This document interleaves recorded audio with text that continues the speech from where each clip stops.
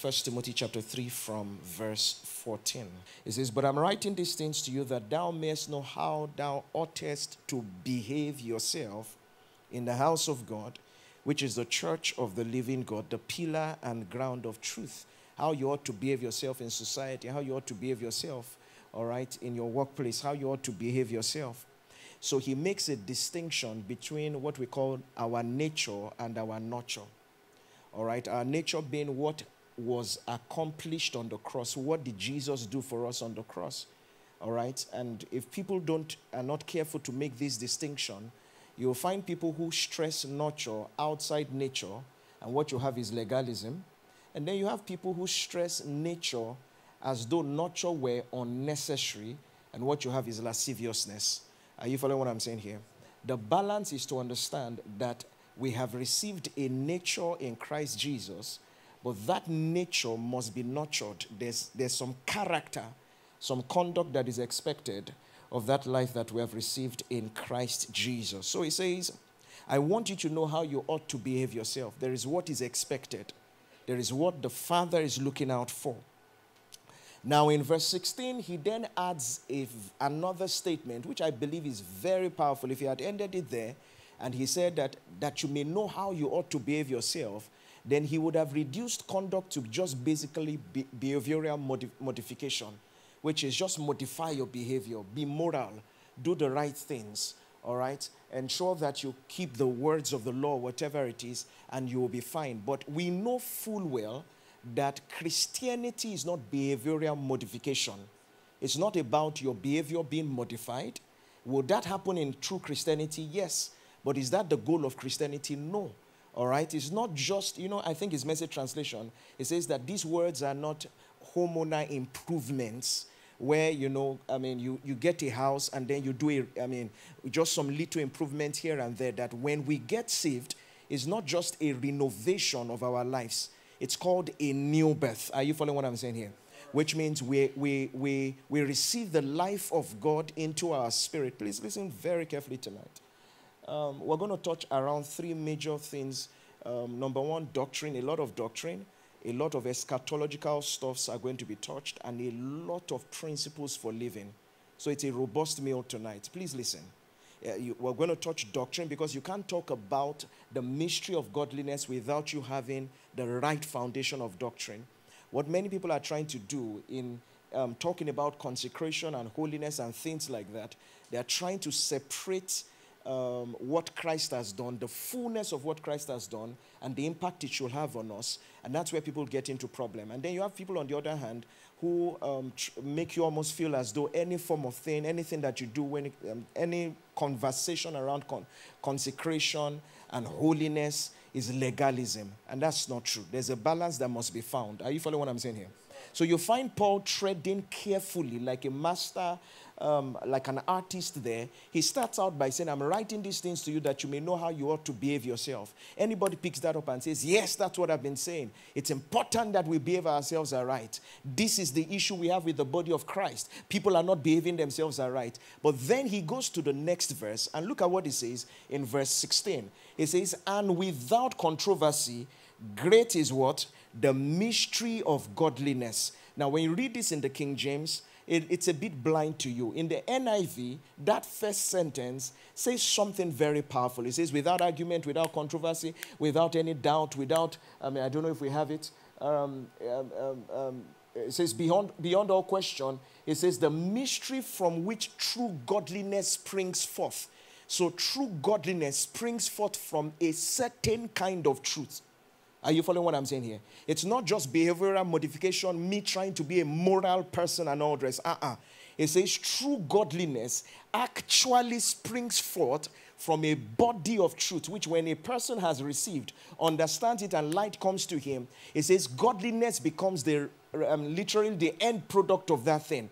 That's why in Romans, the sixth chapter, Paul writing to the Romans, he said something. He says that you have received this form of doctrine that has been delivered unto you, that has now freed you from sin and made you slaves unto righteousness. We'll look into it in just a bit. So he says there's a form of truth, a body of truth, doctrine that you have received. Having received it, he said it has freed you from sin and made you a slave unto righteousness. The problem many is people think that godliness will spring forth from decisions.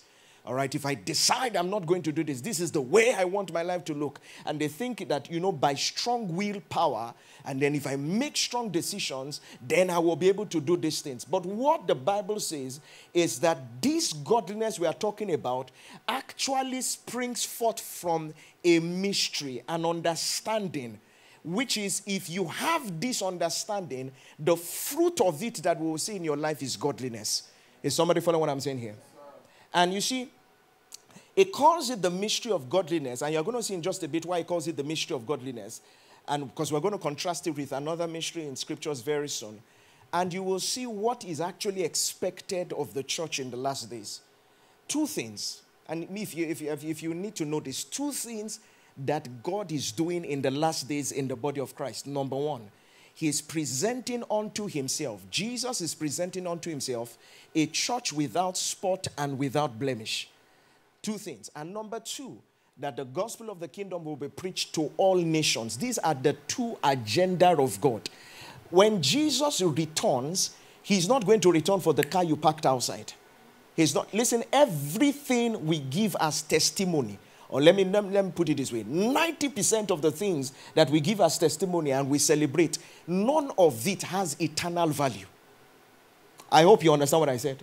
That's not to say that it's not important. If you get a job today, I hope you know that in and of itself, that job has no eternal value which means in the scheme of things, you can't take that job to heaven. Now, there's a way and manner in which you can conduct yourself and tie your job to kingdom purposes, and then it has eternal value. But at face value by itself, it has no eternal value. You walk down to the store there, many of you are looking real, prim, proper, um, mascara, and all the rest. You know, by the time you are raptured, we will remove all the makeup so we can see the real person that is raptured. I hope you know make you you they will use divine what they call it um, wipe, swipe. Is it swipe or wipes? They wipe you. Are you following what I'm saying? It's, it's in, the Bible says immortality will be swallowed up. Do you think that your glorified body needs mascara? No, everything will be removed. All this and somebody looks and says, You look so beautiful. Everything, none of it has eternal value. Is somebody getting what I'm saying? Yes, what God is doing, and if you don't know this, we might run a race and then find out that, listen, it was just a futile race at the end of the day. What he's doing, what he, the concerted effort of the Father Hear me, is not to bring prosperity to the church. There are wells of prosperity that has been dug in the church already. If it's about healing revival, somebody says we are believing God for healing revival. Let me tell you this there are wells of healing revivals, waves of glory that already have been dug in the church. There is almost no blessing, no dimension of God, sincerely speaking, that we're looking for that a generation has not tasted in a form. Are you getting what I'm saying here? And basically, what we are doing is that we are redigging the wells that people have drunk from, from in the years past. What is God doing in the last day? Number one, He's presenting to Himself. There's a work that God is doing to present to Himself a church without spot and without blemish. And then, number two, that church is raised in power, granted new vision to ensure that the gospel of the kingdom is preached to every nation. Are you following what I'm saying here? So, when we talk about the mystery of godliness, we're talking about the work that God did, the, the work of the cross, and the effect that it has in our immediate life, your conduct, your life, how, how you conduct yourself, your conversation, the effect that it has. Are we, is it possible? Does the cross have an effect on our lives? Absolutely so. It says, Great is the mystery of godliness. Without question, without controversy, it says, This godliness springs forth not from willpower. Are you get what I'm saying here? Not from, I've made up my mind, this is what I want to do. Uh uh Many of you will agree with me. There are times you said to God, maybe somebody was dealing with a struggle in their lives, and then you said, Oh God, if I ever do it again, kill me. How many of you, you no, you don't have to. Uh, you gonna, if I ever lie again, kill me. If I ever, if I ever. Now, I mean, I know most of you, you were born holy. When you gave birth to you, there were three angels wearing diapers and wings and all rest. I understand that. But many of you were born in sin, in iniquity. Did your mother conceive you? And you will find yourself, oh God, in God, in the name of just kill me. I pro- I give you my word. You even come to the altar, you wail, you cry, and all the, after a while, do you realize you don't even pray those prayers anymore? You're like, well, you're the God of many chances. I mean, and then you suddenly heard the message that the love of God is overwhelming, the love of God is radical, and He gave you some, ah, hey, I can't be killing myself now. The love of God has covered for all of these things. Now, please, there's I understand what that is saying. but there's another aspect I need to give to you so that you, are, you cannot have a coin. I've said this over and over again. Every truth must have two sides. Every truth. Every truth must have two sides. There must be something to counterbalance it. Not to negate it, but to counterbalance it. Which means once you are studying the scripture and light is coming to you on something and you are getting excited about it, you have to start searching for what is the truth in scriptures that counterbalances this thing. If you don't find the counterbalance, you will enter excess. Is somebody following me tonight? So let's go back to 1 Timothy 3:16. Look at what it says. Let me read the NIV very quickly, that first sentence there, and then we come back to the King James there. He says, beyond all question, the mystery from which what? True godliness springs is what? Great. Now go back to the King James, and you see Paul giving us a doctrinal I mean, uh, statements, doctrinal statements about godliness. Even though that's not what we're looking into tonight, it, it, will help us just to touch one or two things there. I mean, just give you doctrinal statements, powerful statements, which should be studied one by one for themselves. What exactly did he mean? What I'm trying to get into is the practice of godliness um, tonight. But, I mean, you, you must understand some of these things. Look at what the first thing it says there. It says the mystery of godliness is great without controversy. Number one, it says God was manifest where? In the flesh. Now, as simple as that statement sounds, it is one of the most powerful things you can ever read in the Bible. God Himself said in the Old Testament, He said, If any flesh should see me and see my glory, they shall die. It was impossible. Are you following what I'm saying here? That even when Moses said that I may see your glory, God said, I'll put you in the cleft of the rock somewhere. I'll pass by, proclaim my name, proclaim my goodness. You will see my backside because nobody can see my face and leave. Even when Moses went into the mountain, you remember how that God said, You must put, you must cut down the mountain. Do you remember that? Cut down the mountain. Anybody that comes too close will die. That's how much God was to be feared. How much, I mean, the, the, presence and the power of God was something just to be observed from a distance. The Bible says that people saw it. Some people actually broke through the mountain, touched the mountain, and they died. Remember the ark? Uzzah was just trying to help the ark. You remember that he was about to fall off, touch the ark, and what happened? The Bible says he was struck dead.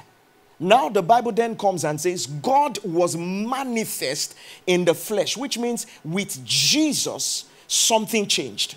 That it becomes possible that the human flesh, what you call flesh, can actually embody the entire fullness, potentialities, and possibilities of God. So he tells us in Ephesians, the third chapter, he says that we may know the love of Christ that passes all understanding, the length, the breadth, the depth, the height thereof, and all this, and that we may be filled not with a fragment. Are you following what I'm saying here? But with what? The fullness of God. Somebody then comes and says, Well, but you know, he's talking about the body of Christ in general, that that fullness is in the body of Christ. I always say to people this that do you know that if Jesus dies today and only one person says yes to his lordship, that one person is the body of Christ. So, in a sense, you are the body. Is somebody getting what I'm saying here? Which means if only one person responded to the message of the gospel, do you know that the body of Christ is intact and whole in the earth? God is not going to say it's a deformed body. It's not the numbers that makes it the body, it's the belief.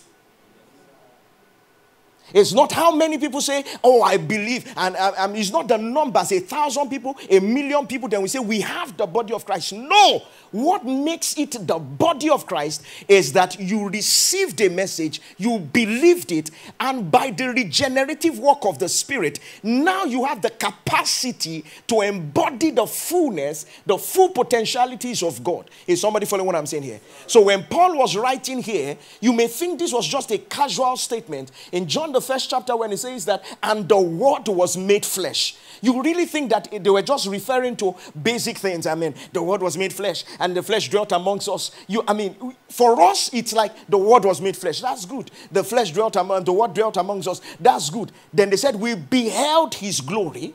And the glory that we beheld was as the only begotten of the Father, not a measure of it. He was full of grace and truth. And hear this He's saying to us that what was of Jesus is now our testimony. Is somebody getting what I'm saying here? So he says, Hear this. Before you talk about anything godliness, this godliness we're talking about springs forth from a body of truth. It's, if you don't have this body of truth, what you have is legalism. It will be the human effort to try to come into acceptance with God. It will be human effort to try to be pleasing unto God. But there's a body of truth. Once you understand it, he says, Hear this. We're talking about godliness. First statement God was manifest in flesh. So God can be manifested through my mortal body. Immortality swallowed up in uh, mortality, swallowed up in immortality. Are you getting what I'm saying here? I mean, I wish we had all the time I, because these are doctrinal statements, and that's not what I want to do tonight. The next thing it says, justified in the spirit. Powerful statement. Justified in the spirit. What does it mean when it says it's justified in the spirit? Which means the statement and the facts of your justification are spiritual and that there is nothing natural that has the ability to undo what is somebody getting what I'm saying? Discharged and acquitted in the spirit. Is somebody get what I'm saying here? So I can take those facts and those statements to deal with whatever is happening in the natural. Justified where? In the spirit. Is somebody getting what I'm saying here? He tells us that this godliness we are talking about springs forth from a certain body of truth. Let me show us something. Romans 8. Let me, let me just quickly show us this here. Romans chapter 8. I want, you, I want you to see how powerful this thing is. Romans chapter 8. And I can tell you for free. You see, when the Lord began to deal with me about this, and as I was studying it, I realized that I don't think we actually have proclaimed with boldness and confidence the true possibilities of the gospel like it should be proclaimed. I don't think so. What, listen to me, what we have done for the most part is to proclaim the liberty or the freedom that the gospel brings. And that's powerful. But there's an empowerment that the gospel brings. He brought them out. That is liberty and freedom. That he might take them in. Redemption is not complete simply because you came out. Is somebody getting what I'm saying here? That's why I will say to you that Jesus looked at the woman who was taken in, I mean, and, uh, taken in the act and all the rest, and he looked at her and he said, Go home and sin no more. And if you look at that statement, you say it's an instruction. How can you tell a woman who was taken in the act, go home and sin no more? You are an unjust person to tell somebody to do what you know they don't have capacity to do. You are holding them against a law that you know you have not empowered them against. Are you get what I'm saying here? You are saying go home and do no more, and you know in yourself that she's going to go home and do the same thing that you have said. For Jesus to be justified in that statement, that statement must not just be an instruction, it must be an empowerment. Go home and do no more was not just an instruction. In from inside that statement was an empowerment to do no more. So true grace is pardon and power. Two sides of the same coin. Is somebody still here tonight? Please, we are building up. And I really want us to get this thing. Because what I found out is that, and if, if we are going to be sincere with ourselves, you will find believers who have struggles in their lives. Genuine believers. Sincere, I mean, I'm not saying that they, they, they don't like God, they love God. Sincere believers, sincere leaders, actually, sincere workers but struggles in their flesh, struggles in their life. And then they get to a point where there's a sense of, well, listen, I know I'm forgiven of God. And there's almost that, that resignation that as long as we are in the human flesh, then these are things that we will have to struggle with. Hear me. Hear me and hear me well. Whatever was paid for on the cross should never be a struggle in your life. Whatever was paid for on the cross should never be a struggle in your life. Look at Romans 8. I want to show us something very powerful there. Romans chapter 8 from verse 1. And we'll come back to this Romans 8 in just a bit because it answers Romans 7, where it says the things I, I don't want to do, um, I find myself doing. And people use that to teach some funny things and all the rest. Because there's no Romans 7, Romans 8 in the manuscripts. It's the Bible writers that put it in chapters and verses for ease of reference. So the statement he was making from Romans 7, the last four verses, continued in the conclusion was not in Romans 7, the conclusion was in Romans 8. And save that you read Romans 8, if you stop at Romans 7, you will have a partial truth. Are you following what I'm saying here? Now look at Romans chapter 8. It says, There is therefore, now this is a powerful statement, confession to make together. I believe so. Let's make this confession out loud. One to go. There is therefore now no condemnation to them which are in Christ Jesus, who walk not after the flesh, but after the Spirit. Can we read verse 2 together? One to go. For the law of the Spirit of life. So it's a law. The law of the Spirit of life in Christ Jesus hath made me free from the law of sin. So there is a law of sin and death at work in the world. It says, But the law of the Spirit of life in Christ Jesus has now made me free from the law of sin and death. Now, I hope you know that this is a statement of fact, it is not necessarily a statement of experience. And that there are facts that are, I mean, shown us in scripture, but not necessarily the experience of every believer.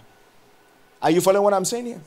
That whilst this cannot be changed, and this is true, that the law of the Spirit of life in Christ Jesus has set me free from the law of sin and death, a believer can still be under the law of sin and death, not because he should be, but because he doesn't have light on this subject.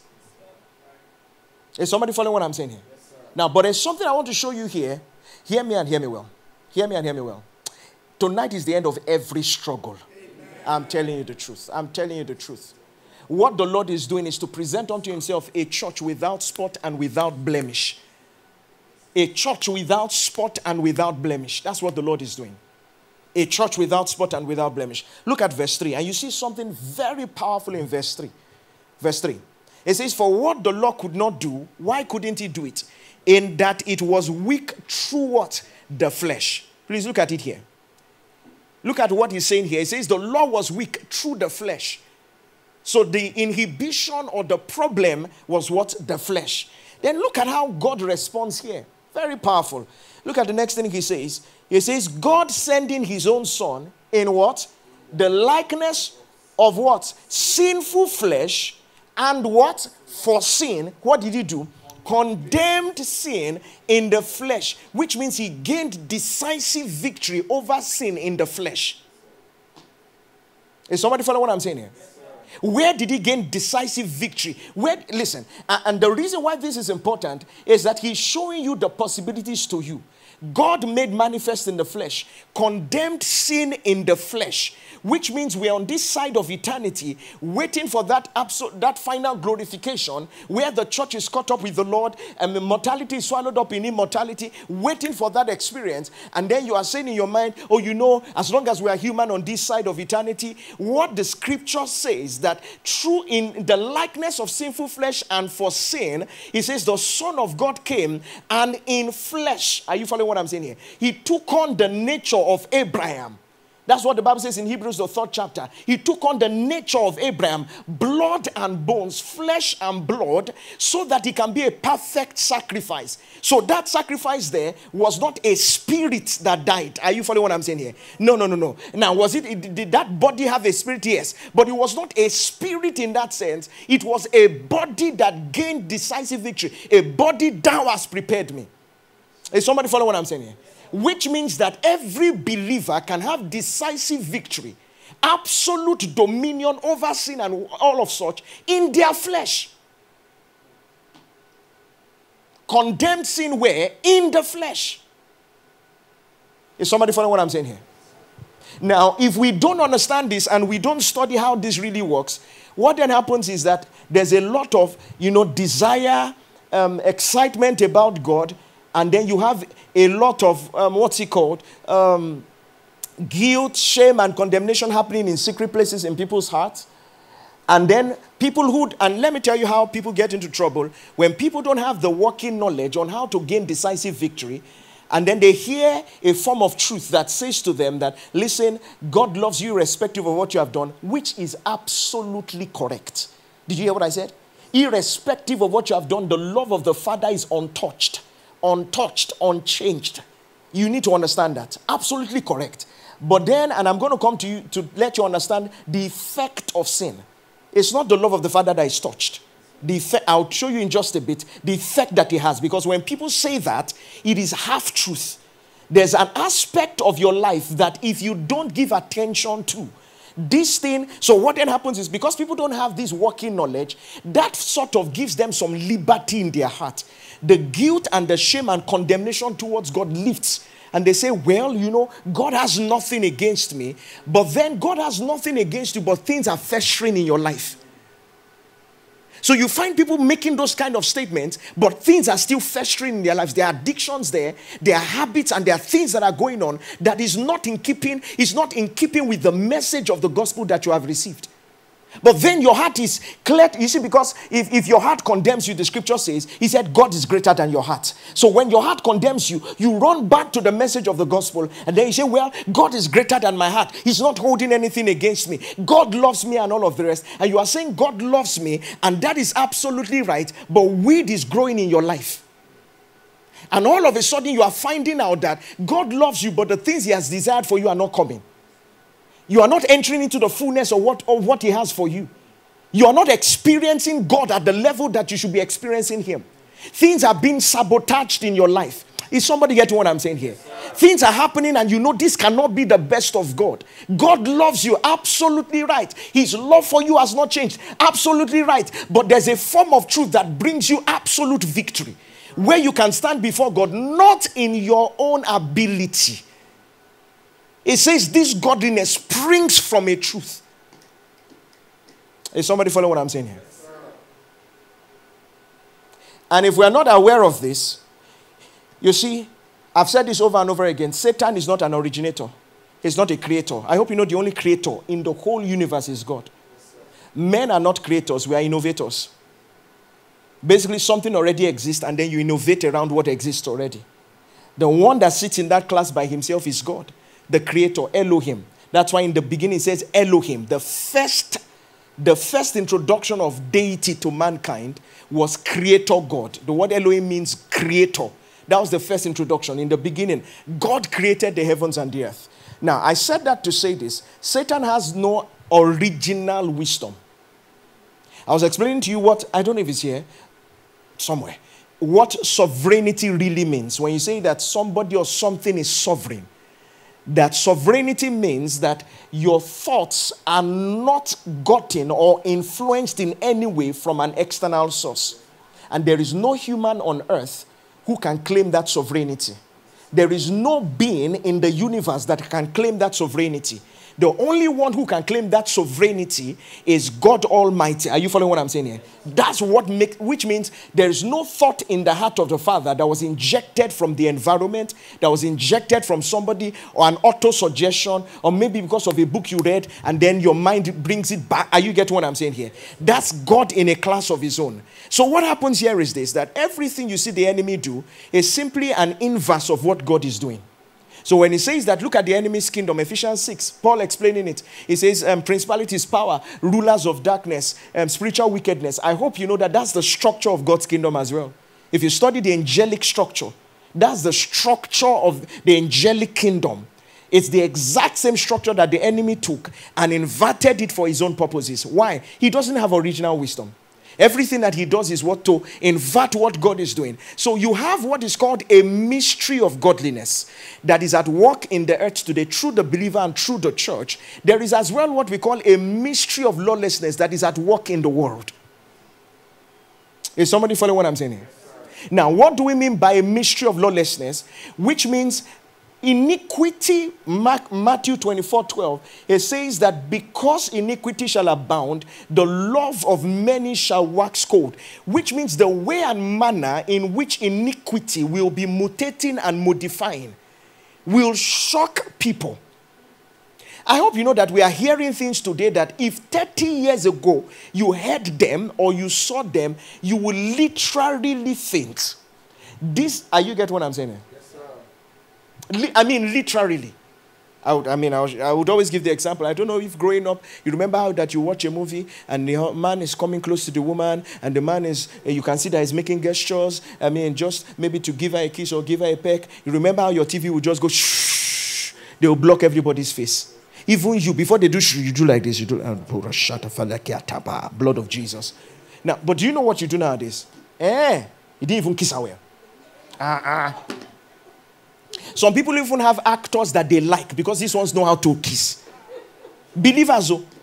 They say, the reason I like this guy, he embodies the role. Yeah, I mean, you can see that he has embodied the role. You'll be shocked at the things that have become norm to a generation. Is somebody follow what I'm saying here? that have become absolutely normal. Things that if you heard them 10 years ago, 20 years ago, you would have been shocked that this was a possibility amongst humankind. Can I tell you something? If you think that you've heard anything, you say, ha, wait till next week. You hear, you will shout, ha ha. By December, you say, hey, you will just faint. You know why? Because iniquity, there's a mystery of lawlessness at work in the world today. Which means people are only going to get more godless, more lawless. Iniquity will abound. I mean, everywhere you turn to will be. Are you getting what I'm saying here? I hope you know that things that you had to go and look for, that they, they actually come to your doorstep now. Things that you had to go, I mean, things that were not normal to be heard amongst human beings is what everybody consumes as a normal today. It's called the mystery of lawlessness. Let me show you something here. You see, because if we can contrast it, then you see what God is trying to do through the church. That God is trying to introduce godliness into the earth into the nations of the world. He's trying to introduce, and we are not talking about believers just being in one corner and just being pious and being holy. No, we are saying that your holiness is a force, a sanctifying force. The same way sin can be a corrupting force, righteousness can be a sanctifying force. Because if we are not careful, our ideology and our theology is that we hide in one corner and we maintain ourselves unspotted, unstained by the world. You know, let's be careful so that our garment is not stained till we meet our bridegroom. No, no, no, no, no, no. Righteousness is a force. Are you following what I'm saying here? The godliness is a force. The same way sin can corrupt, righteousness can be a force. Look at Second Thessalonians. Let me show you something here. Let's look at a few scriptures around this idea of the mystery of lawlessness. Second Thessalonians chapter 2. So that you see what the enemy is doing. And what he is doing is simply trying to corrupt what God is doing. You know, Satan has, does not have absolute knowledge, but he can read signs and times. They saw the star. There was an interpretation that the king shall be born, but they didn't know exactly where the king will be. You remember that? If he knew exactly where, then Herod would not have asked that, go and look for him. When you find him, come and tell me. He just knew that there's a star. There's a, the Messiah had been born. Are you getting what I'm saying here? And then what did he do? He started creating situations in the environment that if you don't have the background, that the reason children are now dying in Israel and they passed a law is because a star has appeared, a baby has been born. You will just think that it is the government that is a bad government. Do you understand what I'm saying? Imagine that you don't have the back knowledge that Jesus was born. You don't have the back knowledge, the inside information that the star was seen out there, uh, up there. Are you following what I'm saying? You don't have that inside information, and you are just an Israelite. All of a sudden, they sign a law and they say that every child below three years of age must be killed. And do you know what you would have said? What kind of terrible government? What kind of problem have we? What is happening in Nigeria? Darkness and all this. But do you know that that's a reaction to something that's happening in the realm of the spirit? Now, believers many a times don't know that what is going on around you is a reaction. You really think that the reason there is war in Ukraine and all, you think it's just because people are angry and fighting. That Israel, you know, sometimes many believers are not sophisticated enough to know that you may not see exactly the trigger, but everything Satan does is never an action, it's a reaction. Never an action. Did you hear what I said? Never an action, it's a reaction. Which means if you can pin something to the enemy, he's reacting to something in your life. So you say, ah, all of this, look at what is going on in my life. Look at the problems that I'm facing. There's a reaction to something that is coming. Did you hear what I said? You say, ah, blah, blah, blah. I mean, my business failed. Everybody has left me and all this, not this. Satan does not have the capacity to act of himself. Uh-uh. He reacts to what God is doing. That's what happens there. So you have a mystery of godliness that was unleashed through the, that is unleashed through the body of Christ, and I'm going to show how that works. Satan is reacting to that with what is called the mystery of lawlessness, which means before the church catches up and the church is able to fulfill its mission, we are going to destroy things as much as we can. Is somebody following what I'm saying here? Yes, I hope you know that getting people saved in this generation by itself, and please don't mistake in what I'm saying by saying it's not enough. I'm not saying that salvation, salvation is enough, Christ and all the rest. But I hope you know that that somebody gets saved is not enough right now because of the kind of exposure that people have had before they come to salvation. When Jesus stood by the tomb of Lazarus, he said, Lazarus, come forth. And the man who was four days, dead, four days dead came forth, bound hand and foot. And I've told you over and over again if you asked everybody there, was Lazarus alive? Yes but the living man was bound hand and foot. Then he turned to the people. It was not Jesus who loosed him. He turned to the people and said, Loose him and let him go. So, loosening is in the hands of teaching ministries. It's people that lose those that have been raised from the dead. Are you following what I'm saying here? So you have believers that have been raised from spiritual death, but because they've not been exposed to the right teaching ministry, they are still bound hand and foot. Is somebody getting what I'm saying here? So you find somebody who has been introduced to dangerous kind of information, their minds entirely messed up, that they come out here and declare Jesus as Lord does not mean that in that moment their mind is fixed.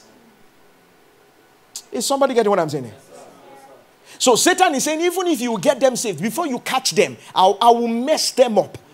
And sometimes in church, you are trying to straighten people for 10 years. Listen, I'm a pastor, I know what I'm saying. I know what I'm saying. That sometimes you are trying to straighten people that the issues you are dealing with is not what you are looking at. Is what had happened in secondary school. What happened while they were growing up. Satan planted things along their way. He knew at some point that light will prevail. But before light prevails, let me destroy as much as I can destroy. Is somebody follow what I'm saying? Listen, that's why believers need to rise up. We need to create environments where truth and light can be sponsored aright. Do you know? Listen to me. Even though this is not what I'm teaching tonight, but do you know that when Jesus rose from the dead, do you know the first people that got the message into town? It was the soldiers. They were paid to go and tell the people that Jesus did not rise from the dead. It was his disciples that stole it. In essence, false information and wrong message actually is more sponsored than the gospel. It was after that that the women now went to say, Listen, he rose from the dead. But they had paid people to go and give the wrong information in town. This is what is happening today. That you will find out that the truth is not as sponsored as it should be. And that the wrong things are the ones that are being sponsored. Believers need to arise. Are we still here? So we have a mystery of godliness. You still, you may not understand exactly what I'm talking about here because I'm going to explain to you what God really wants to do. He wants the church to be a force of light. The Bible says, shining forth the light, holding forth the light in a crooked and perverse world. Holding it forth. in a crooked, in a perverse world, in a generation where everything is dark and not holding forth the light. That's what he says. Is somebody getting what I'm saying here? And so, what is Satan doing? As God is working on the church, the enemy is working over time with what we call the mystery of lawlessness. Are you following what I'm saying here? If anybody told you 30 years ago that they will sign certain things into the laws of nations, you would never have believed. That you will go to school and that a six year old is allowed to decide whether she's a cat or a goat. I don't know if you understand how terrible the world that the things that we are faced with in the world today is.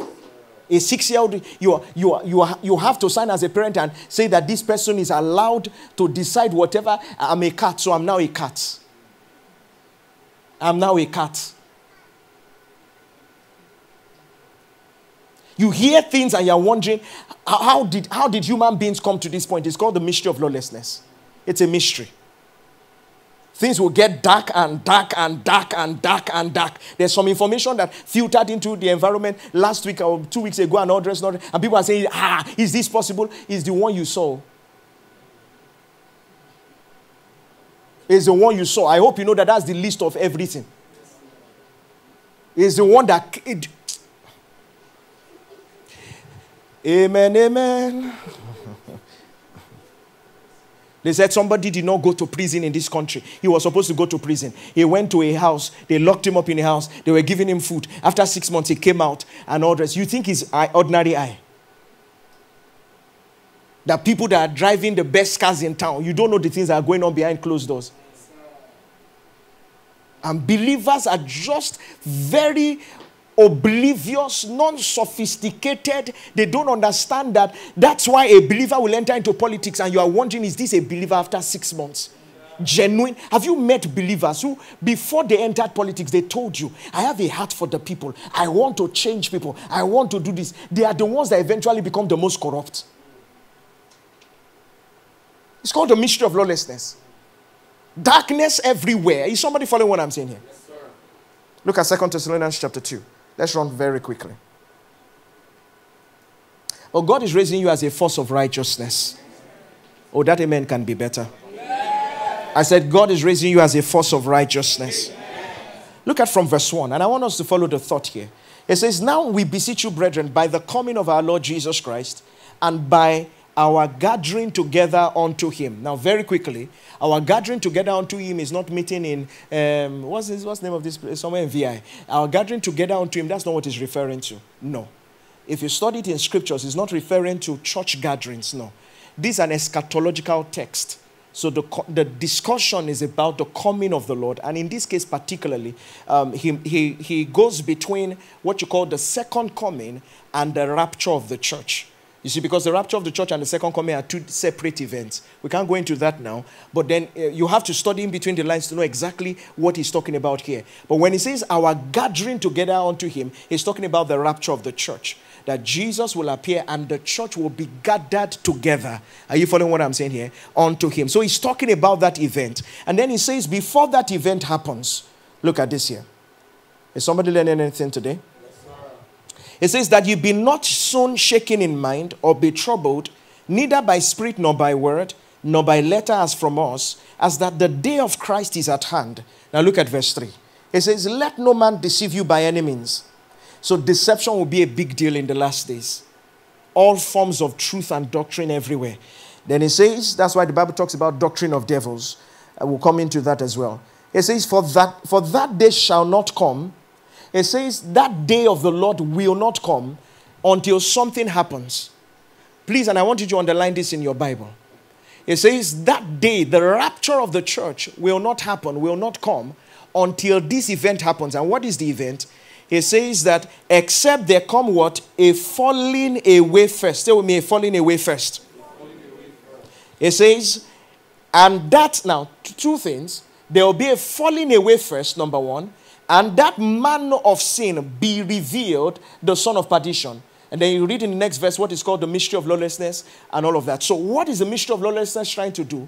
Is working its way till the revelation and introduction of the Antichrist. What is the mystery of godliness trying to do? Working its way, are you following what I'm saying here? Until the return of the Lord Jesus. Two parallel events happening at the same time, each one fighting for what you call market share. Are you following what I'm saying here?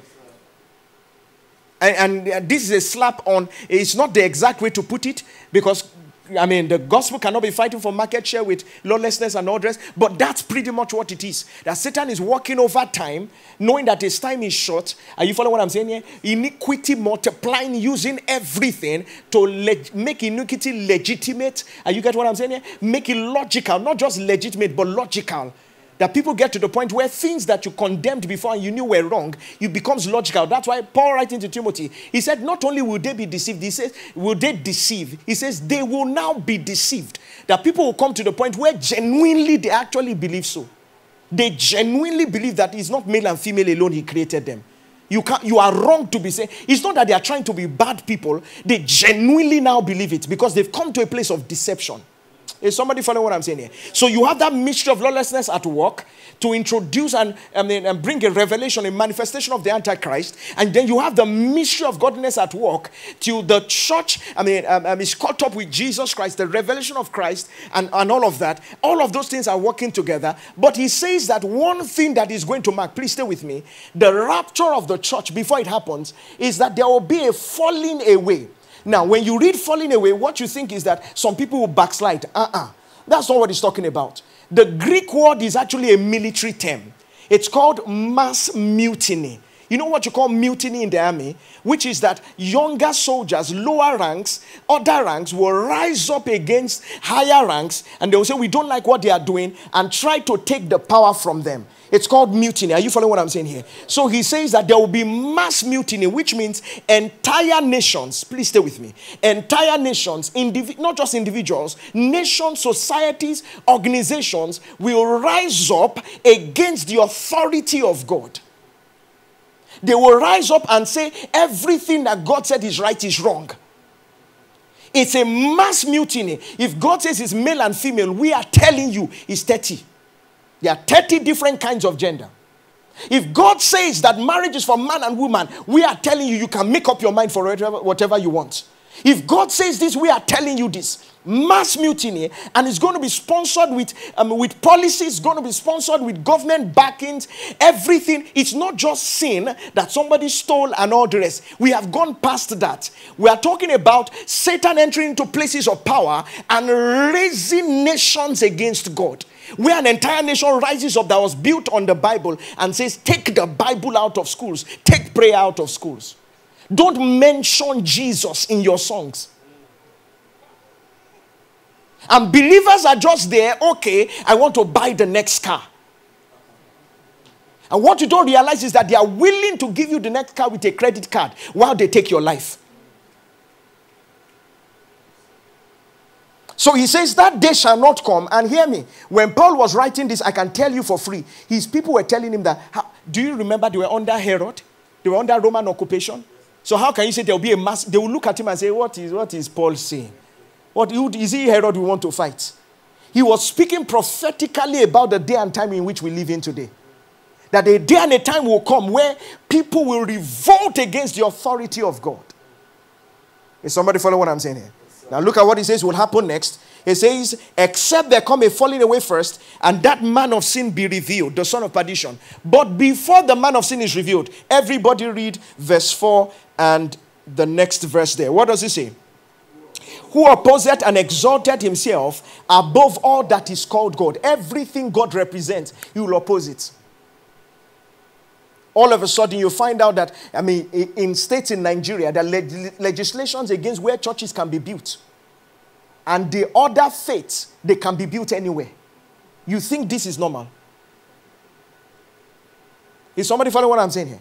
Look at what he says. He says, Who opposed opposite exalted himself above all that is called God or that is worshipped, so that he as God seated in the temple of this. Listen, if I had the time to explain this, this, this is a dangerous statement that Paul made here. He said, He seated in the temple of God, showing himself that he is God. That the zenith and the height of this thing will be that there will be an entrance into the church. But I don't want to get into it tonight. Hmm. Is somebody still here?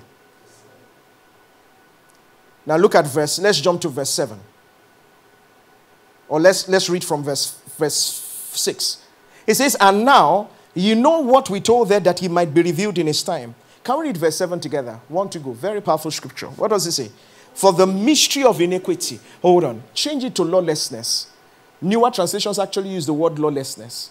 It says the mystery of lawlessness dot what? So what is working in the earth today? The man of sin is not yet revealed. But what is in the earth today? The mystery of lawlessness doth already work. It says, Only he who now letteth will let, or put in another way, only he who now restrains. The word let there is old Anglo Saxon um, way of saying restrain.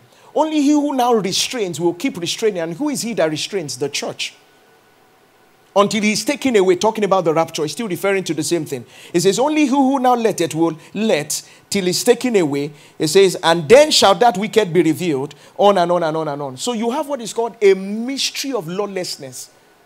Iniquity will just keep abounding. Are you following what I'm saying here? Everything, you, I mean, you will think that you've seen the best or the worst, pardon me. And then you begin to see a lot more. Look at Romans chapter 1. It's the same thing Paul was speaking about in Romans, the first chapter. Romans chapter 1. And if you don't understand this ministry of lawlessness, that's why you find somebody, a well meaning believer, very well meaning believer, who had no plan to ever lift his hands up to, to hit his wife or anything. If you asked him, he, he, he, he meant to be a loving husband. Are you getting what I'm saying here? He didn't go into marriage saying, I will cheat on my wife. Are you following what I'm saying here? all of a sudden you find well-meaning believers returning with stories that they, they are so broken they can't believe that I am this person. A young man came to meet me many, many years ago. He had just finished a seven day fast. Very sorry story. Very sorry story. He had just finished a seven day fast. And from the fast, as he was going, he saw um, a lady dressed, I mean, you know, a sex worker, or whatever it is. That's where he ended from his seven day fast. Seven days of waiting on the Lord. That's where, he, that's, that's how he, um, do you get what I'm saying? That's where it ended. And he, he, he was so, he couldn't believe, he couldn't believe himself. You find somebody get a job and they have, they have all hopes and all dreams that, you know, I'm going to be here. All of a sudden they find out that they have joined the wrong group in the, in the workplace. They are now the ones cutting corners. And one day the person sits down and says, is this me? I never, are you following what I'm saying here? You have believers who sit back and look at their lives and they say, if they told me 10 years ago, this is what my life will look like, this will be my conduct in the secret place, I would have said is a lie. Which means this thing is not waiting for your permission. Any excuse possible. Are you following what I'm saying here? any excuse possible. A good guy just goes to work for whatever reason. He's, he, he did not have a good time with his wife. They are not in good mood. Somebody says something. Everything starts spiraling down from there. Are you following what I'm saying here? He finds himself in an amorphous relationship that he could never have believed a tongue talking brother. You know, because sometimes the way we look at these things, we, we think of it as though people premeditated. And no, there's what's called the mystery of lawlessness, which means, like they use in street parlance, if you lose guard small, it will just hold you. Palm is by you are like, what has happened here? How many of you have been in a commuter bus before and you found yourself swearing for a conductor? You you you or you were driving on the road and you say, Waka, waka. And as you did waka, you you you're an usher. The person you ushered on Sunday just drove past. Say, ah, brother priester.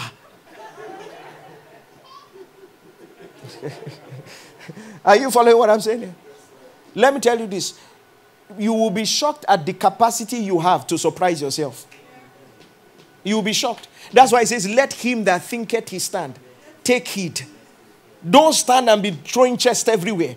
Take heed, lest he fall. If, if, it's not, if it's not the fact that this thing there's a possibility inside to fall, he will not tell you to take it. Are you following what I'm saying here? Which means you are you it's not premeditated or anything, but there's something at work in the world system. something at work in the world system. A gentleman is driving on the road, he turns his head, he sees a lady dressed in a certain way, and for three days that image cannot leave his head. He's praying in tongue. Karuate.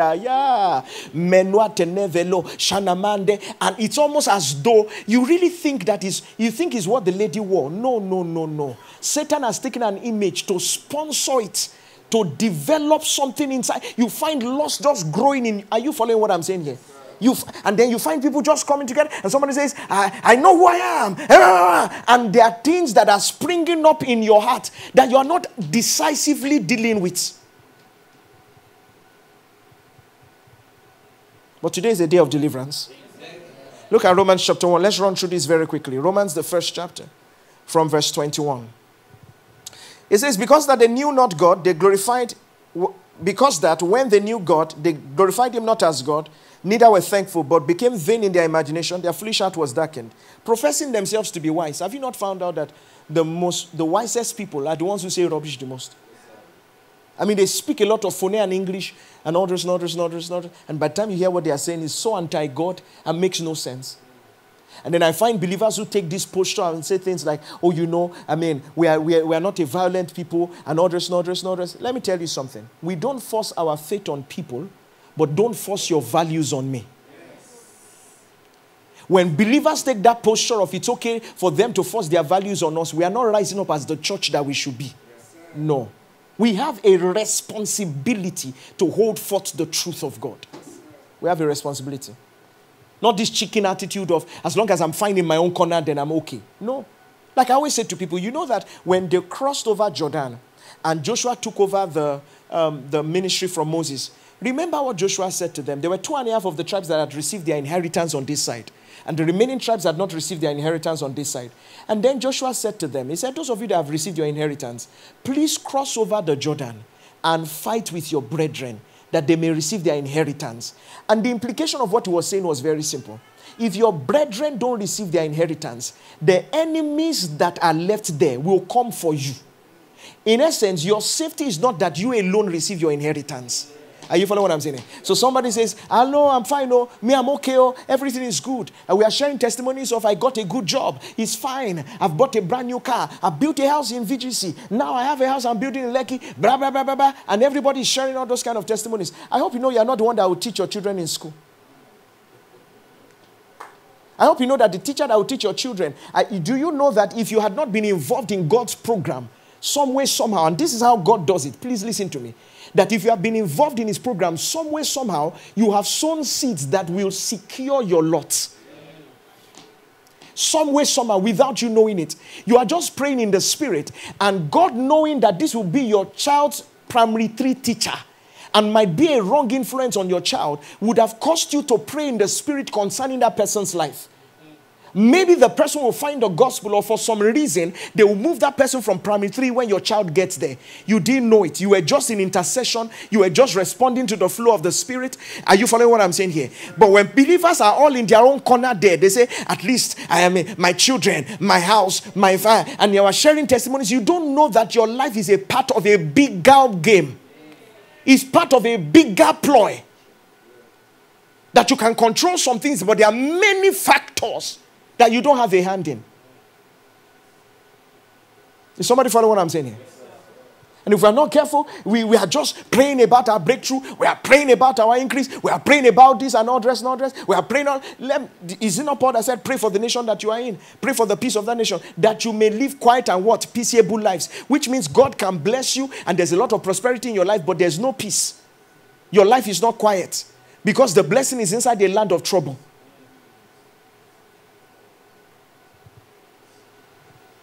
Are we still here tonight? Go back to that Romans 1. Romans chapter 1. Look at verse 22. It says, professing themselves to be wise, and I'm taking my time to go slowly around this so that you see the implication of what's going on in the world today. Very soon, you, you will remember I told you, you will come out on the street of Lekki, it's naked people that will be walking. I know many of you are saying that it's not possible. It's not possible. The one you said 20 years ago has not happened. I say it's not possible. It's not possible. Has it not happened? You will go out, you, you have what they call nudist colony. They will say, listen, we, we, we, we can do whatever we want to do. We are okay. Nobody can tell us to wear clothes. Nobody. You, you will come out on the streets of Lekki. You will be telling your children, close your eyes, close your eyes, close your eyes. You think that everything is normal. You think, you think people are okay. You think everything is normal. Satan is working till he brings depravity at the worst till he destroys everything of glory and value in mankind. He's working hard. Are you still here? The church has to rise up. The believers have to rise up. And where does it start from? From our personal lives. This light must shine into our conduct. Whatever has not influenced us and changed us cannot change our world. Are you following what I'm saying here? So, whilst the immediate focus right now is your conduct, whilst that's what we're looking at, the influence of this mystery of godliness on your own life, the fact is that this thing has an influence on a global scale. Are you following what I'm saying here? Look at what it says. Let's read the next verse there. It says in verse 23, it says, And change the glory of the uncorruptible God into an image made like to corruptible man. It says, And to birds and four footed beasts and creeping things. Verse 24, Wherefore God also gave them up to uncleanness through the lust of their own hearts to dishonor their own body between themselves. Do you see what's happening in the world today? All scripturally proven. Who changed the truth of God into a lie, worshipped and served the creature more than the creator, creator who is blessed forevermore. Amen. Verse 26. It says, For this cause God gave them up to what? Vile affections. For even their women did change the natural use into that which is against nature and likewise, also the men leaving the natural use of the woman, burned in their lust one toward another, men with men walking that which is unseemly, and receiving. Do you see that there's nothing you are seeing in the world today that the Bible has not told us will happen? Yes, are you get what I'm saying? Yes, you can imagine that this was since the days of Paul. Oh. Receiving in themselves that recompense of their error which was meet, verse 28. And even as they did not like to retain God in their knowledge, God gave them over to a reprobate mind to do those things which are not convenient. Reprobate means a mind that has gone beyond being able to discern between good and evil. The mind is so twisted that it cannot tell what is right or wrong again. A twisted mind. Now look at what it says. Being filled with all unrighteousness. Look at what Satan is trying to do fornication, wickedness. Have you met wicked people? We, are you following what I'm saying? Wickedness, covetousness, maliciousness, full of envy, murder, debate, deceit. Is this Paul writing? Is it Paul that we are reading here? He's telling us the, nature, the state of the world. It says, backbiters, haters of God, despiteful, proud, boasters, inventors of evil things, disobedient to parents, without understanding, covenant breakers, without natural affection, implacable, unmerciful, who knowing the judgment of God that they which commit such things are what? Worthy of that. Not only do the same, but have what? Pleasure in them that what? Do it. So the question is this. What is the what is the possibility in godliness? Romans 6. I want to show you something here. Romans 6. We've looked at what the enemy is doing. But what are the possibilities in godliness? Romans chapter 6, verse 11. I want to show you something very powerful there. Romans 6 11. It says, Likewise reckon ye also yourselves to be what? Dead indeed unto sin. Now, this is a good confession to make. So let's read Romans 6 11 to 14 together. One to go. Likewise, reckon ye also yourselves to be dead indeed unto sin, but alive unto God. Verse 12. Let not sin, therefore, reign in your mortal body, that ye should obey it in the lust thereof. Neither ye yield ye your members as instruments of unrighteousness unto sin, but yield yourselves unto God, and your members as instruments of righteousness unto God. With a loud voice, let's read verse 14 together. I want to go. For sin shall not have dominion over you for you are not under the law, but under what? Grace. Can we read verse 18 now? Let's read verse 17 down to verse 18. 17 and 18. Want to go? But God be thanked that you were the servants of sin. Do you see that? We were what? Servants of sin. What then does he say next? That form of doctrine which was delivered you. Now, please, please, with all intent, I want you to read verse 18. What does verse 18 say? Want to go? Being then made free from sin. Hold on. Being then what? This is what he has done. Am I right? Being then made free from sin, what happened? You became the servants of righteousness. Please underline that statement servants of righteousness. Too many people are aware of being servants of sin. And that is where a lot of believers are. That we are servants of sin. Okay? So you hear conversations about addictions and habits. This is what has filled the, the uh, possibility of the mind of believers. But look at what the Bible says. It says there's a way and measure in which you can know the truth of God's word and you are a servant of righteousness. Do you know how the Bible puts it? Every time he makes statements like that, he says much more. If sin had reigned this much in your mortal body, are you following what I'm saying here? In your mortal body to the end that you find your mortal body literally under an auto auto suggestion, literally under dominion to sin. It's not a premeditated thing. Are you following what I'm saying here? Sin seems to have the clutch and rules as a tyrant over your life. Paul introduces another dimension of truth that not only were we free from sin, this is what many people preach. People say we are free from sin. And as powerful as that is, he says that's not all. You are not just free from sin, because what happened was that you were under a ruler, and that ruler was sin. He has made you free now, but freedom is not all that he has given to you. He says that you can come to a place in your life where you are a servant unto righteousness. The same way your bodies, your members were given as what servants unto unrighteousness, your members can now be servants unto righteousness. Possibilities in godliness. Is somebody listening to what I'm saying here? Which means, please say this with me in my flesh, there is decisive victory over sin. That's what Jesus said. That's what he did. He condemned sin where? In the flesh. In the flesh. We don't have to wait till we are glorified to that other side. Are you following what I'm saying here? No, you don't have to think that sometimes we fall down, we get up. Uh uh No.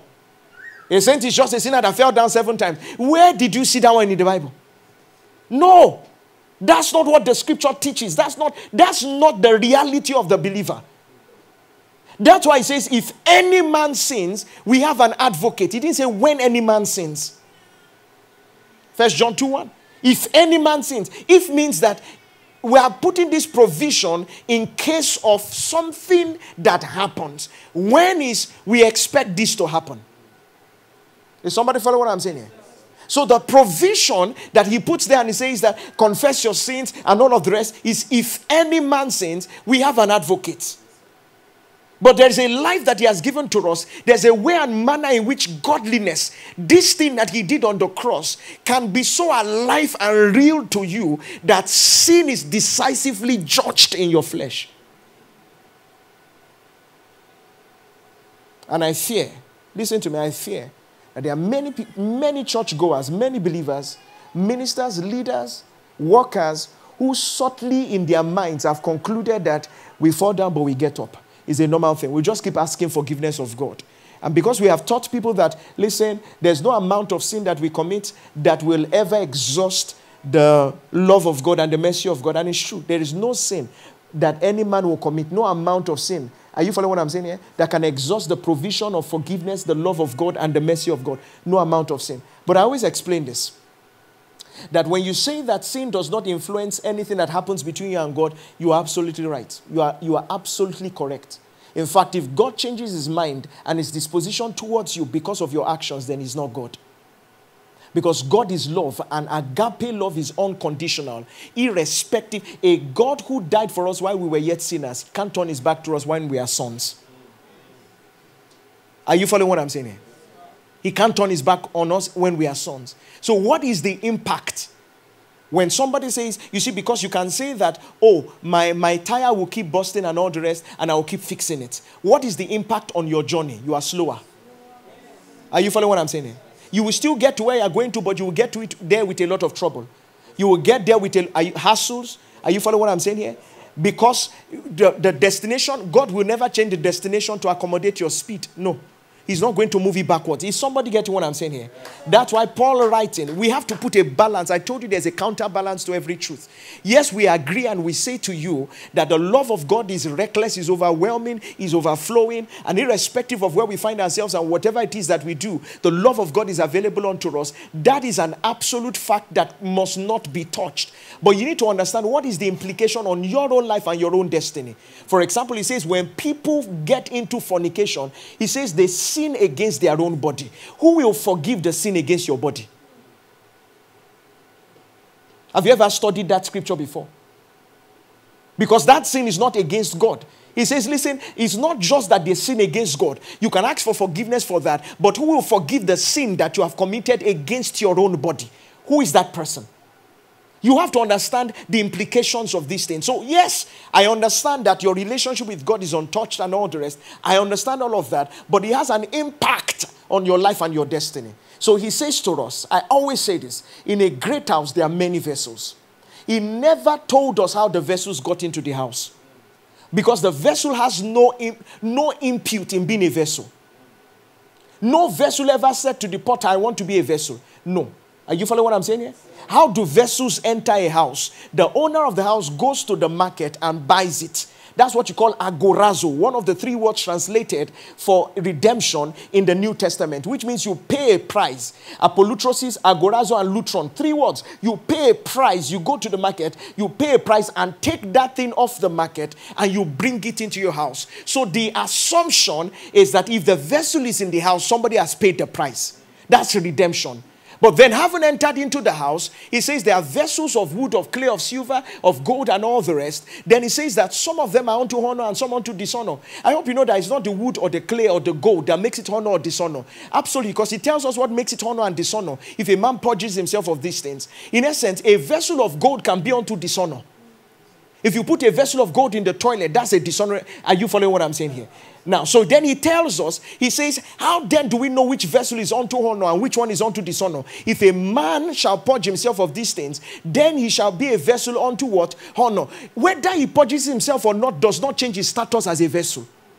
God will not remove the vessel because the vessel refused to purge himself. He will not. The vessel will remain in the house because redemption, he has paid the price and it belongs to him. But if that vessel will be a vessel unto honor, it is based on what that vessel does, not what the buyer did.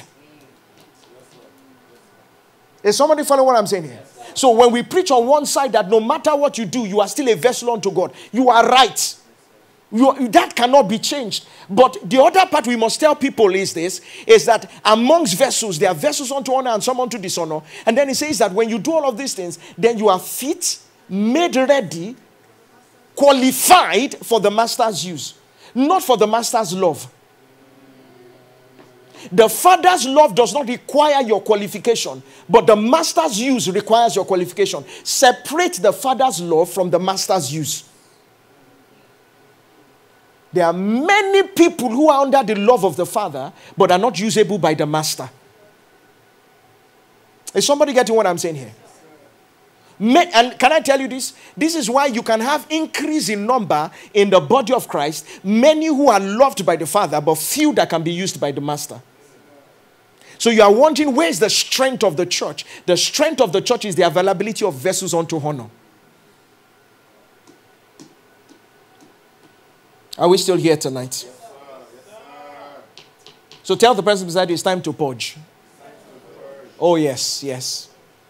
Yes. We have something to do with our vessels. We have something to do with what the what is the character of your vessel. You have it's not the master. If a man shall purge himself. If a man shall purge himself. Hallelujah. And God spoke to me. He said, Men and women who have been under, I mean, earlier this morning, there was such a strong anointing of God's Spirit. Men and women who have been under shackles and bondages. Things that you know that this is literally an obsessive force of the enemy. The power of God is made available tonight. You are going to walk out of this place a free man indeed. A free man indeed. Thank you, Holy Spirit. Let's pray. Can somebody get on the keyboard for me quickly? Is Emeka around or somebody or anybody, please? Quickly on the keyboard. Quickly. Get, please. Thank you. Please. Everybody pray in the Holy Spirit. Please pray in the Holy Spirit. Pray in the Holy Spirit. I didn't say you should whisper. Please pray in the Holy Spirit. Pray. Please pray. Open your mouth and pray in the Spirit. Pray in the Spirit. Pray in the Spirit. Pray in the Spirit.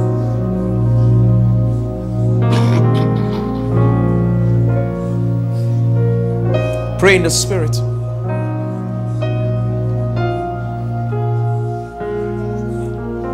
Pray in the Spirit. Pray in the Spirit. Pray in the Holy Spirit. The same way sin has reigned in your mortal body, righteousness can reign in that body. That's what the Bible teaches. That our lives will be a reflection of what, what Jesus did on the cross. Will actually be a reflection of what Jesus did on the cross the conduct and the character that is befitting of the gospel.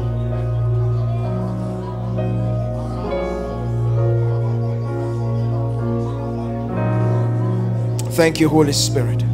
In the mighty name of Jesus, I want to give us four thoughts, four very important thoughts as we wrap up this evening. Four very important thoughts in practicing this godliness. Because there is a conduct that is befitting of the gospel. Are you listening to what I'm saying here? There is what? A conduct that is befitting of the gospel. There's a conduct. And having led for years, um, I think you, as a pastor, as a leader, sometimes you just get to a place where you can't be shocked anymore. Are you get what I'm saying? You just, I mean, uh, you can't be shocked anymore. But it's an unfortunate thing that we have gotten there. Are you following what I'm saying? It's an unfortunate thing. There is a conduct that is befitting of the gospel. Number one is this, and talking about practicing godliness. Number one is this, and this is where every practice must begin from. Align your thoughts with what Christ did on the cross. That's the number one. Remember, I said there is a form, pure, true godliness that springs forth from what? This doctrine, this mystery align your thoughts with what Christ accomplished, what, what is called in popular parlance within the church today, the finished works of Christ. Align your thoughts. What has He done for you? It says, Reckon yourselves now dead unto sin. Like I said, I don't remember if it was here. I was saying to some people, and I said to them, I said, you find yourself struggling with any, any habit or whatever it is, go into the book of Romans. Go for one month. Declare a fast don't keep saying that I'm forgiven of God. Don't do it. Don't just, don't be comfortable with something He has delivered you from. Don't be comfortable. Don't just say that I know I'm forgiven. So it's fine. I'll be fine. No, don't do that. Are you following what I'm saying here? Don't do that. Remember, he, he brings us liberty and freedom, and not just liberty and freedom, empowerment. Those are the things that we should see in your life you're delivered from the bondage of Egypt, and then we see the dominion of righteousness over that thing. Are you getting what I'm saying here? So don't be comfortable with it. What does the Bible say? It says, Reckon yourselves dead unto sin. Sin shall not have dominion over you. Look at the things that the Word of God says concerning that situation and make it your meditation. Hear me and hear me well. The Word of God is medicine. And I always tell people that if it's small headache you have, they will say use 500 milligram. If it's big headache, big headache, they'll say 1,000 milligram. Am I right? Then they'll say increase the dosage. They'll say use it three twice a day. Ah, your own is plenty. Three times a day. Your own, ah, you need four times a day. Sometimes you know that what you are dealing with is not something that just five minutes of saying that um, sin shall not have dominion over me shall. Do you get what I'm saying here? There has to be that intentional effort. Desire freedom enough to pay whatever discipline that is required for it. Whatever discipline that needs to go into it. Don't be comfortable with a life that is shackled. Don't be comfortable with a life that is shackled. So align your thoughts with the provisions of Christ on the cross. That's the number one thing. What did he do for you?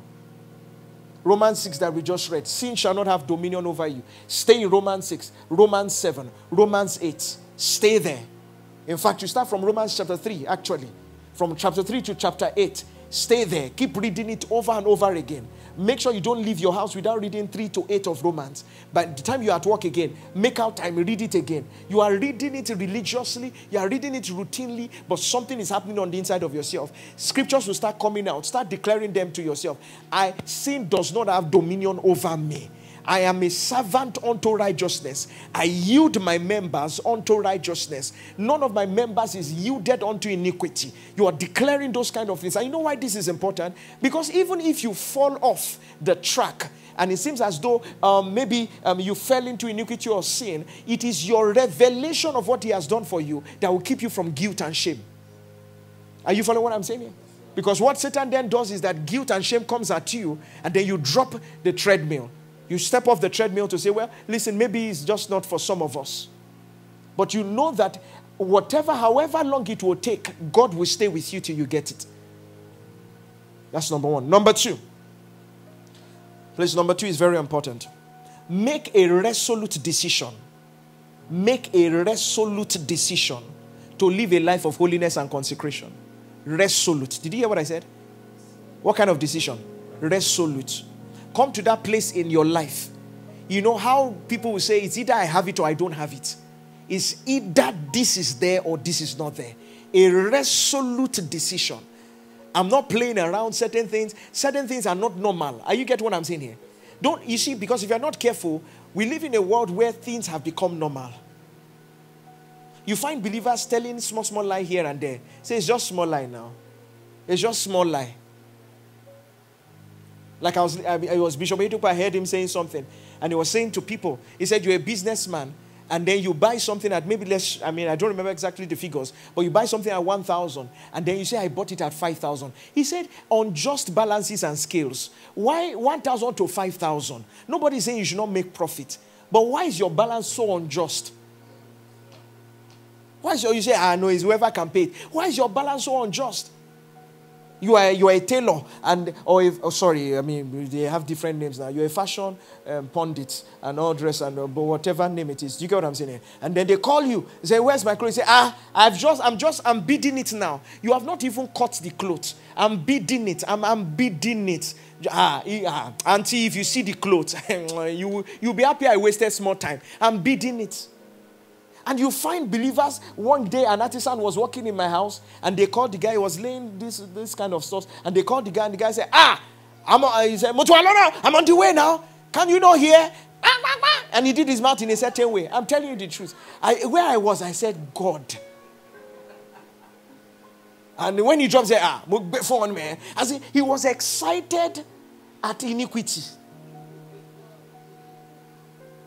I know it's believers somewhere in our mind because of the legal system of the world where we decide that some things are capital punishment and some things are small punishment. So there's small sin. Sin, a lying is small sin. It's just it's just small. It's just a little lie here and there. You know, sometimes I, my hand just is scratching me. I just pick things.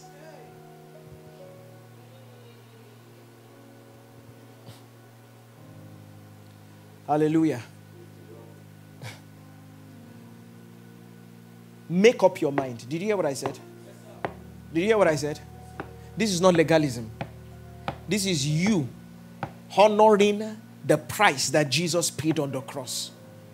Make up your mind. A resolute decision to live a life of holiness and consecration. Number three, please listen to me. Oh. Practice separation. Did you hear what I said? Practice what? Separation. What do we mean by that? Second Corinthians 6, verse 17. Practice separation. Paul said, Come out from amongst them and be ye separate. Touch not the unclean thing, and I will receive you. Have you ever read that before? Practice separation. Don't say to yourself, It's fine, I can just watch anything. Do you understand what I'm saying here? I can just read anything. This, this each, this desire to read and to see and to hear is where people get into problem. You are too much of value to read everything. You are too much. Imagine that we put, we put we put a basket here, an offering basket, and people start putting biscuit um, paper and everything inside, how do you feel? Do you know that same basket can be the basket you're using for dustbin outside? But because we have put it here in front, and we've called it an offering basket, you feel a certain way that somebody will put their waste inside. You are God's vessel. While other people are outside and they can put junk inside them, not you. You can't watch everything. You can't go everywhere. Is somebody listening to what I'm saying here? Don't say, ah, you don't know me, man. You don't know me. No. Evil communication corrupts good manners. That's what the scripture teaches. You can't watch everything. There are WhatsApp, people's WhatsApp, there are friends of yours on WhatsApp that you know you need to mute their status. You don't need to see what they are writing.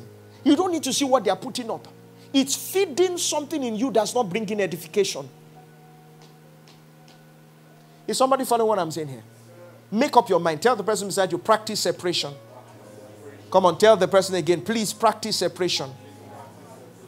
Number four, maintain a highly charged spiritual routine, highly charged spiritual atmosphere. Psalm 119, verse 9 How shall a young man, wherewith shall a young man cleanse his ways? By what? Keeping your word in his heart. Maintain a highly charged. This is so important. Many of you will agree with me that moments where you have stayed away from the presence, and I'm talking about practicing the presence of God, you become vulnerable to certain things. It can be as simple as you just find that you are cranky.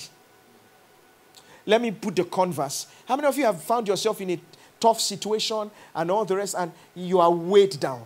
But then you come into church, like the kind of worship we just had now, and all of a sudden you're worshiping and the burden lifts up, joy I mean, comes up on the inside of yourself. How many of you have had those experiences before? What happened in that place? Did your situation change? No. The presence infused you with something that you could use to face the situation.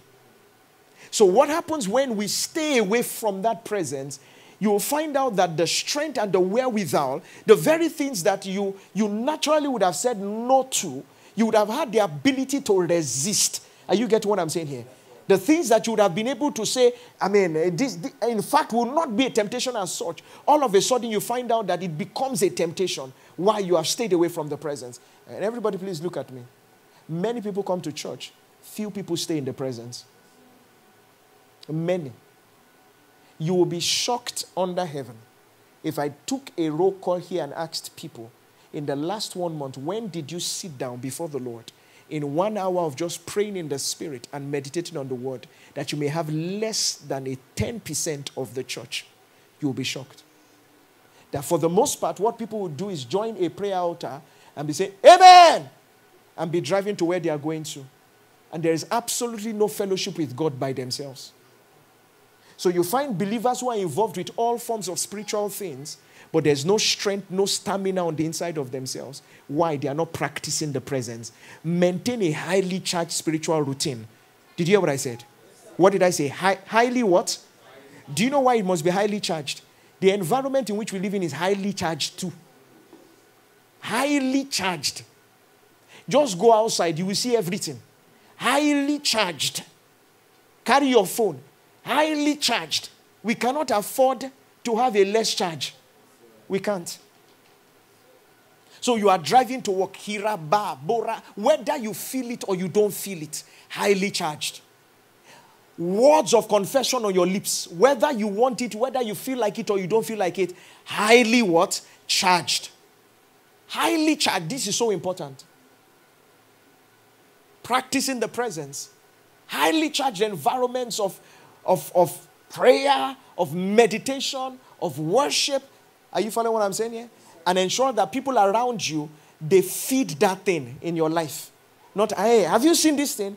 Ah, me, I send you the link. Wait, I did come, I did come, I did come. Just hold on on the line. No cut, no cut, no cut. I did check him, I did come. Eh. You don't see him? Now the link be that. Oh yeah, yeah, call me back. Check him.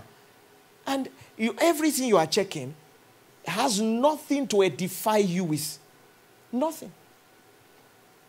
You don't need that company around you. Are you following what I'm saying here? You don't need that company around you. Highly charged. Highly charged. Let's pray for a minute, please. Let's pray. Let's pray. Thank you, Holy Spirit. Thank you, Holy Spirit. Thank you, Holy Spirit. Thank you for the work of your Spirit in our hearts and our lives. Hmm. This is the mystery of godliness that God manifest in the flesh. God manifest in the flesh. God manifest in the flesh. Put another way, God manifest in your flesh. God manifest in your flesh. God manifest in your flesh. God manifest in your flesh. I sense the need for us to pray a bit, just a bit, just a bit. And a couple of things will happen as we pray. A couple of things will happen as we pray. There's going to be a stirring. There's going to be a stirring. The chains that held bound will break. The chains that held bound will break.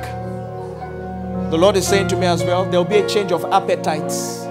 A change of appetites. There are people that have fed themselves with the wrong things for so long but tonight, there's going to be a supernatural work of mercy, a supernatural work of the mercy of God, a change of appetite.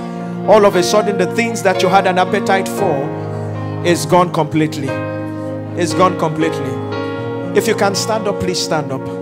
If you can walk around, please walk around. Don't be casual with the prayer. But most importantly, take a prayer posture that helps you pray. You want to kneel down, please kneel down. This is a matter of destiny. Holiness, consecration, godliness is not so that we have something to stand before God to boast whereof. No. It's a matter of destiny. Somebody pray out loud in the Holy Spirit where you are. Pray out loud in the Holy Spirit. Number one, the Lord said the shackles that binds, they are breaking. They are falling off. They are coming off Number two, the Lord said He's changing appetites. Appetites. Appetites. The Lord is changing appetites as we pray in the Spirit tonight. Remontavele kwashtala bandi. Seirotana baba baba shataka baba baba bratakabaya. Soratana mante velo shanamante kebahaya.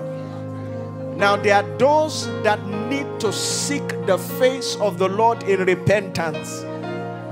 There are those who know, believers, who know that you literally, literally turned your back on the things that you know. And you've made a practice of sin in your life. It's not a matter of, oh, you need to get born again. No, not that. It's the fact that you know better than this. And you've allowed the enemy walk through your flesh, all form of lasciviousness. You've allowed the enemy run rampage through your flesh I want you, wherever you are, to begin to pray.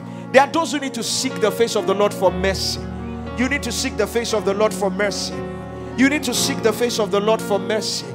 You need to seek the face of the Lord for mercy. God is speaking to me about one, two, three persons like that under the sound of my voice. You just throw caution to the wind and you've lived life as it comes. You've lived life as it comes. You've thrown caution to the wind you hear things about consecration and holiness, and it's a matter of leave me. I mean, uh, God, I'm forgiven. But you know tonight that you're making a decision, a decision for holiness and consecration. There is something Jesus did on the cross that has given us the capacity to live in absolute victory over sin. Soranigo talamande, velo takabaya. Soramante ke velo atenengo. You are holy, cause you are holy. Oh Lord God Almighty. Sorabatela bashandea. Shadamante vela cobra digo scoramande. Come on with a loud voice, pray in the Holy Spirit wherever you are. With a loud voice, pray in the Holy Ghost wherever you are. With a loud voice, pray in the Holy Ghost wherever you are.